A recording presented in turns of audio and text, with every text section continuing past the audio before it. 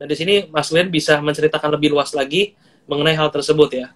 Jadi kalau misalkan uh, intinya Mas, uh, mungkin teman-teman di sini juga uh, yang lagi nonton, kira-kira uh, apa aja sih kalau misalnya kita lihat faktor-faktor uh, yang membuat ekonomi Indonesia ini setidaknya punya harapan nih nggak jatuh dalam yang di uh, apa ya diinfokan mungkin bayang-bayang resesi dan sebagainya gitu oke okay. Oke sebenarnya kalau uh, soal resesi ini masing-masing uh, resesi ya sebetulnya ada penyebab yang berbeda-beda jadi sebelum kita mau memahami uh, resesi ini dampaknya gimana ke Indonesia kita harus tahu dulu sebetulnya apa sih yang sedang mengancam kita apa sih yang mencemaskan itu gitu. Nah, secara umum kalau misalnya uh, di ekonomi global ya bisa dibilang sebetulnya hal yang ada beberapa hal yang sebenarnya menjadi concern tapi kalau disimplifikasi sebenarnya ada tiga. Yang pertama itu ketahanan energi, yang kedua itu adalah ketahanan pangan dan yang ketiga itu ketahanan finansial ya.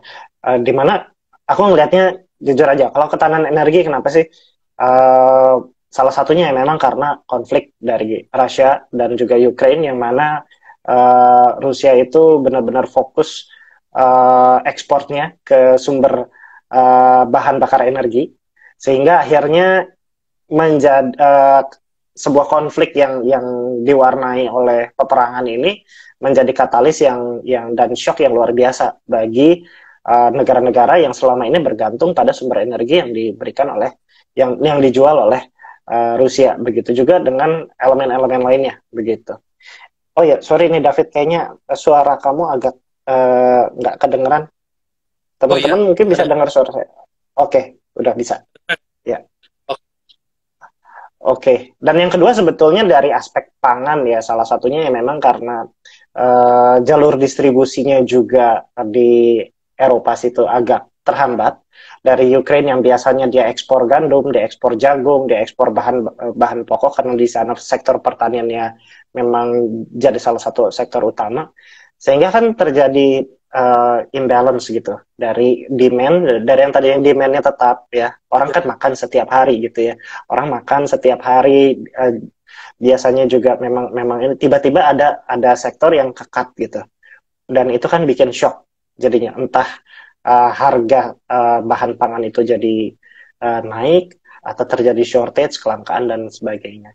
Nah, yang ketiga sebenarnya ini uh, sektor finansial itu bisa dibilang buntut dari sisanya ya. Kalau misalnya ada ketidakstabilan uh, ekonomi, uh, artinya apa? Artinya banyak pihak yang akhirnya tidak bisa ber, berasumsi dengan cara yang sama lagi, terutama dalam kemampuan mereka membayar utang gitu dalam kemampuan karena kan ekonomi dan dan institusi kan sebenarnya menjalankan operasionalnya sebetulnya dengan utang dan piutang satu sama lain gitu tapi begitu ada ada sesuatu yang shocking di tengah-tengah tiba-tiba eh si ini nggak bisa bayar utangnya nih eh si ini piutangnya nggak tertagih nih nah kalau misalnya udah terjadi itu dan merembet uh, satu institusi ke institusi yang lain jadinya kredit macet jadinya potensi uh, krisis uh, likuiditas di institusi keuangan. Nah, itulah yang sebenarnya dicemaskan dari tiga aspek uh, ini. Sebetulnya kalau misalnya kita lihat secara umum ya, kita mungkin nggak bisa meramal masa depan secara pasti. Tapi kalau kita lihat gambaran secara umum, Indonesia tuh di level yang sebetulnya masih jauh lebih mending lah dibandingkan negara-negara lain gitu. Di mana Indonesia mungkin dari tiga aspek itu kita bisa bernafas lega karena sumber daya kita cukup banyak dan ketahanan finansial kita perbankan kita juga masih sehat gitu. Nah, jadi sebenarnya kalau kita mengkaji krisis kita selalu harus lihat uh, akar masalahnya di mana dulu gitu. Uh, tentunya akar masalah yang katakanlah bisa relevan banget buat Indonesia bisa jadi dampaknya sangat sangat uh, fatal gitu. Tapi dalam skenario saat, uh, saat ini ya dalam dalam tahun 2022 dan 2023 mendatang uh, kalau para ekonom lihat sih uh, isu-isunya bukan di sektor-sektor yang benar-benar jadi jadi fatal buat Indonesia. Tapi segalanya bisa terjadi ya, of course ya. Kira-kira itu sih mungkin uh, David kalau dari aku soal soal overview sedikit ya soal uh, isu resesi dan juga segala macam dan sampai saat ini bisa dibilang belum resesi ya kita tuh belum resesi karena oh. uh, pertumbuhan growth GDP kita juga masih lima persen masih sangat normal gitu. Dan jujur aja sebenarnya untuk dari lima persen turun ke empat persen ke tiga persen aja itu uh, jarang banget. Apalagi kalau sampai negatif. Apalagi kalau negatifnya dua kuartal berturut-turut, nah itu baru resesi. Yang mana kita tuh udah uh, baru pernah uh, pernah resesi itu pas kemarin ya 2020 itu karena sesuatu yang luar biasa tapi se sebelum 2020 udah puluhan tahun kita nggak nggak pernah kayak gitu jadi normally selalu kita uh, agregat kenaikan pertumbuhan ekonomi selalu di uh, sekitar 5 persen 5,2 persen gitu oke okay, oke. Jadi uh, setuju banget ya uh, sama Mas Glenn sampaikan bahwa sebetulnya uh, kita, kita kalau melihat Indonesia sendiri pernah bahkan dunia ya pernah mengalami uh, kondisi resesi ini dan setelah itu uh, terjadi rebound ya pemulihan ya di sektor saham dan beberapa sektor lainnya kayak gitu kan. Nah apa yang terjadi? Uh, kita lihat memang uh, tadi kalau misalkan dari uh, perbankan mungkin dari butuh dari uh, masalah uh, COVID yang uh, tersisa gitu kan ekornya. Kemudian tadi kita lihat uh, Ukraine sama Rusia kayak gitu kan perang. Uh, dan juga makanya menyebabkan uh, energi dan juga tadi uh, bagian pangan itu sendiri ya kayak gitu. Mungkin boleh nggak uh, Mas Ben lebih dalam lagi kita kita bahas tadi kan sudah ada tiga mm -hmm. uh, masalah ya concern tersebut ya. Boleh dibedah yeah. satu-satu. Tadi kalau dari awal energi itu sendiri seperti apa gitu saat ini. Kalau bicara soal energi ya sebenarnya balik lagi ke uh, apa ya imbalance antara demand sama supply-nya ini macetnya di mana gitu. Yang jelas sih sebetulnya kalau kita lihat uh, ngomongin Russia ya memang dia supply-nya kebanyakan untuk Eropa ya, terutama Inggris dan juga Jerman. Di mana uh, eh, sektor paling paling produktifnya mereka itu natural gas gitu, dan itu dipakai untuk uh, sumber daya uh, energi khususnya listrik gitu. Jadi beda kalau di Indonesia kan kita pakainya batu bara gitu. Kita pakai batu bara, kalau di luar uh, macam-macam ya. Ada yang pakai salah satunya natural gas. Nah, hmm, memang belakangan kita lihat kayak negara kayak Jerman sama Inggris agak mencemaskan sih jujur aja karena mereka kemandirian bahan bakar energinya uh, itu kurang ya bisa dibilang mereka nggak punya batu bara gitu sementara Indonesia uh, kita berlimpah lah cukup berlimpah untuk batu baranya gitu nah uh, sampai di Inggris sama Jerman aku dengar ada beberapa kali ada pemadaman bergilir sampai uh, harga tarif dasar listrik juga naik beberapa kali lipat bisa sampai dua dua setengah kali lipat seingat saya.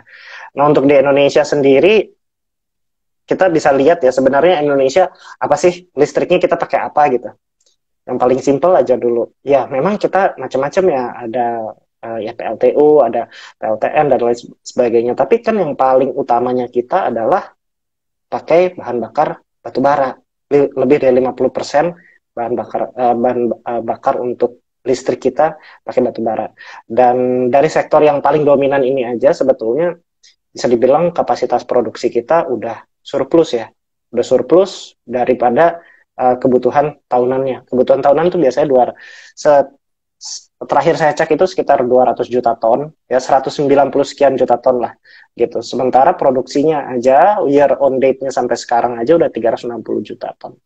Jadi udah di atas kapasitas apalagi uh, apa namanya uh, kayaknya setahun itu bisa sampai 600-an 600 juta ton jadi sebetulnya kalau dari ketahanan energi untuk listrik ya batu bara khususnya itu kita udah bisa dibilang aman banget gitu. Dan ya kita dianugerahi oleh banyak alternatif sebenarnya. Mungkin ada banyak isu yang lebih lebih dalam lagi ya kayak misalnya kita wah Indonesia masih ketergantungan sama fossil fuel dan lain sebagainya kita harus beralih ke energi terbarukan. Tapi mau diakui atau tidak saat ini memang batu bara sebagai ya salah satu bisa dibilang energi uh, yang energi fosil tapi masih jadi penyelamat gitu kita supaya punya ketahanan energi. Kira-kira gitu sih ya. Kalau untuk pangan ya sama ya. Aku sih ngelihatnya memang di Indonesia kita ngelihatnya gini aja sih. Kalau wah ada isu nanti kelaparan global dan lain sebagainya kita ngelihat data kayak uh, salah satu contohnya global food uh, security index gitu. Jadi bisa dilihat ya kita kan ada 270 juta penduduk nih. Nah kita kita uh, setiap hari orang makan. Itu sebenarnya kalau dihitung secara matematis bisa gitu. Setiap hari orang makan kita ada ada 270 juta ya of course uh, rentangnya beda ya. Ada balita ada yang orang tua dan lain sebagainya. Tapi kita secara matematis kita bisa lihat dong kayak uh, tiap kuartal berapa pertumbuhan manusia berapa banyak perut yang harus terisi dan berapa banyak kebutuhannya gitu. Kebutuhan daging ayam berapa kebutuhan beras berapa kebutuhan macam-macam lah ya. Uh, sawit sebagai uh, bahan untuk bikin minyak goreng berapa gitu. Nah kita lihat aja kebutuhannya berapa dan kapasitas produksi dalam negeri kita berapa gitu. Dan kalau misalnya semuanya bisa dibilang masih surplus ya dan setahu saya sih untuk yang uh, beras dan juga sawit itu kita masih punya surplus. Bahkan cadangan beras dari tahun kemarin aja masih banyak kemudian untuk sawit, wah surplusnya lebar banget. Karena apa? Karena negara kita kan bisa bilang eksportir sawit terbesar di dunia udah gak ada lagi. Nomor Betul. satu di Indonesia. Gitu. Yes, memang uh, pada dasarnya memang ada uh, bisa jadi terjadi kelangkaan karena memang permintaan dari global juga meningkat ya. Tapi kalau ngomong survivor gitu ya, uh, kita mau survive nggak nih dalam negeri ya? Bisa dibilang ya sebenarnya uh, dari ketahanan pangan kita masih aman banget gitu. Nah di level-level yang lain juga sama ya di finansial. Kalau aku bisa bilang, hmm, kalau di sektor finansial kan memang kita ngelihat ini potensi krisis gimana sih? Ada banyak kan skenario nya. Bisa jadi market crash gitu, market saham jatuh atau misalnya uh, krisis moneter di mana suku uh, apa uh, rasio tukar terhadap dolarnya tiba-tiba kita anjlok banget atau hal yang mungkin salah satu yang umum itu debt crisis gitu di mana kita kredit macet. Nah, kalau ngomongin tentang masyarakat luas, bagaimana ketahanan dari krisis finansialnya, ya kita lihat aja sejauh mana sih uh, masyarakat ini masih mampu untuk menjalankan kewajiban finansialnya. Salah satunya kalau dari perbankan kita lihat non-performing loan-nya gitu. Jadi rasio dia untuk bisa uh, apa namanya membayar kewajibannya kepada kepada bank gitu, itu berapa banyak kredit macetnya. Kalau misalnya kredit macetnya banyak, nah itu udah lampu kuning tuh. Berarti ada yang salah nih. ya. Kan, kalau misalkan banyak. Yes, kalau kalau NPL-nya tinggi itu udah ini. Kemudian ada capital adequacy ratio juga, itu rasio kecukupan modal itu biasanya untuk menggambarkan ini perbankan ini punya uh, ketahanan modal nggak sih? Kalau-kalau dia ada resiko keuangan, salah satunya kredit macet itu. Kalau ada money rush, tiba-tiba orang ambil uangnya banyak banget dari tabungannya, dia bisa punya kecukupan modal atau enggak. Nah, dari dua indikator ini aja sebetulnya bisa dibilang Indonesia masih baik-baik aja sih, jujur aja. Kayak rasio NPL uh, eh, nasional kita masih di 2,9 persen. Uh, kalau idealnya ya batas amam ya di sekitar lima persenan aja masih masih oke okay, gitu. Nah ini kita di 2,9 persen dan aku ngeliat kayak Bank BRI ya uh, itu juga masih masih oke okay, gitu tiga uh, di atas tiga persen memang tapi masih oke. Okay. Bank BCA sehat banget ya memang dia kan uh, seleksi kreditnya pak uh, paling paling susah lah kalau mau pinjam duit pinjam modal di BCA aja susah banget makanya dia NPL-nya bisa kecil banget gitu. Nah, kalau untuk capital adequacy ratio juga rasio kecukupan modal perbankan kita itu eh, di sekitar sekitar 24 persen ya. Itu itu bagus banget sih karena kalau wajarnya aja batas amannya itu sekitar 8 persen ya. Kita aja 24 persen. Jadi of course ketahanannya udah oke okay banget gitu. Jadi eh, dari tiga aspek itu sih sebenarnya secara garis besar bisa dibilang ya Indonesia masih oke-oke aja ya. Tapi aku nggak kepengen men ngasih justifikasi lebih lanjut karena kita nggak tahu ya masa depan seperti apa. Nggak ada yang tahu actually uh, tahun depan akan seperti apa. Tapi kalau kita lihat secara rasional dari data-data yang tersedia, uh, sebenarnya nggak ada alasan juga kita untuk takut berlebihan karena dari pangan kita kuat, dari energi kita kuat, dari finansial kita juga baik-baik aja gitu. Uh, yang ada memang, of course, negara-negara uh, lain melambat dan kita sedikit banyak kan terasa sejujurnya gitu. Kayak ya. Ya, jadi kemarin ada yang sempat uh, eh, DM dan sebagainya kayak aduh setelah hmm. denger mau makan aja takut, mau ini takut, ya mau dan takut gitu. Jadi maksudnya jangan sampai takut berlebihan betul kayak gitu. Jadi paling penting ya yes. benar baca berita dua arah gitu kan. Jadi media hmm. mungkin up kayak gitu kan banyak banget kan dunia resesi global dan sebagainya kayak gitu. Tapi jangan sampai kita takut berlebihan, kita malah prepare tadi udah jelasin sama Mas Glenn dengan sangat lengkap ya. Jadi uh, bagi uh, dari tiga sektor yang menjadi permasalahan itu yang membuat khawatir, ternyata Indonesia kuat kok di situ gitu loh. Dan pangan juga yang menarik, Mas Ben, yang saya lihat memang uh, kayak contohnya ketika uh, Ukraine itu mengalami uh, masalah gitu kan, uh, sehingga apa namanya produksi gandumnya terganggu, Australia atau negara-negara penghasil gandum akhirnya menyadari itu dan akhirnya mereka mulai memperbesar produksi gandum dan kebutuhan-kebutuhan lainnya. Akhirnya uh, dari mereka ini bisa mencukupi beberapa kebutuhan-kebutuhan negara-negara yang memang akhirnya yes. selesai. Betul, betul, betul. Dinamis gitu. Jadi teman-teman di sini yang yang lihat memang uh, apa ya menarik ya karena tadi uh, hubungan antar negara juga mereka juga bisa mempersiapkan ini belajar dari krisis-krisis sebelumnya kayak gitu.